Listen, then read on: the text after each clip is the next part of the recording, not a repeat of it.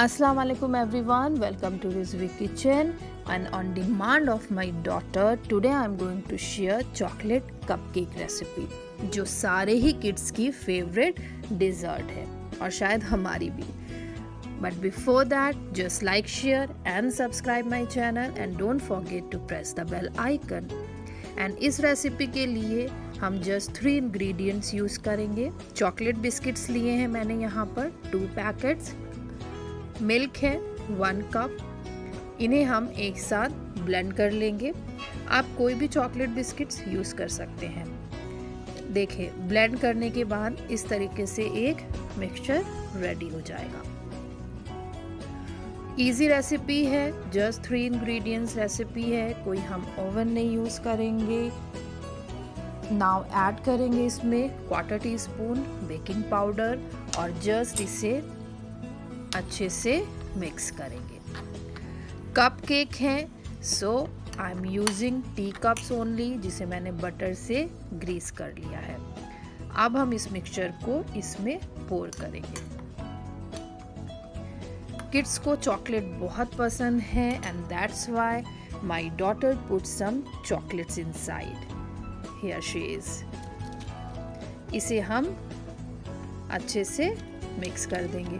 Dairy milk chocolate है, आप कोई भी चॉकलेट यूज़ कर सकते हैं।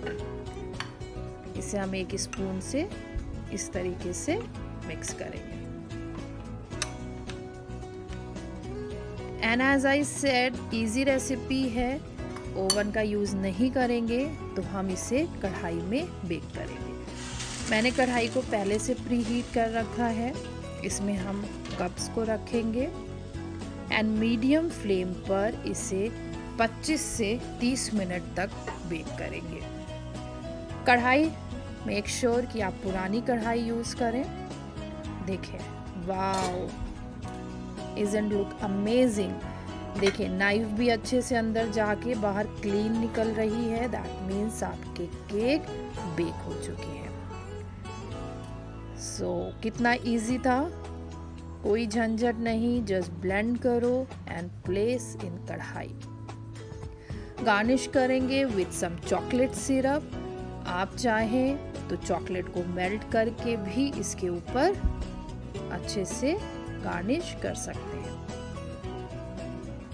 कप केक है तो better to serve in cups only इसे हम अच्छे से स्प्रेड करेंगे केक के ऊपर।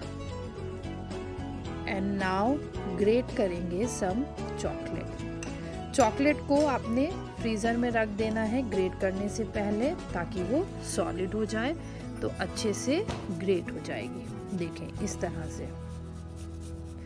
देखने में ही कितनी यमी लग रही है. एंड होता है अक्सर गेस्ट आ गए, समझ नहीं आ रहा क्या डेजर्ट बनाए.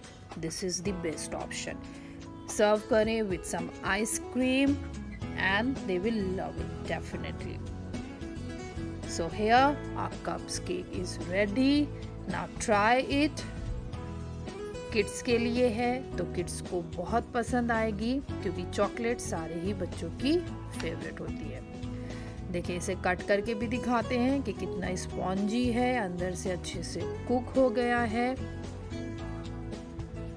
Right right? सो एन्जॉय करें in this lockdown with your kids stay home stay safe कल फिर मिलेंगे एक नई रेसिपी के साथ तब तक के लिए खुदा हाफिज एंड टेक केयर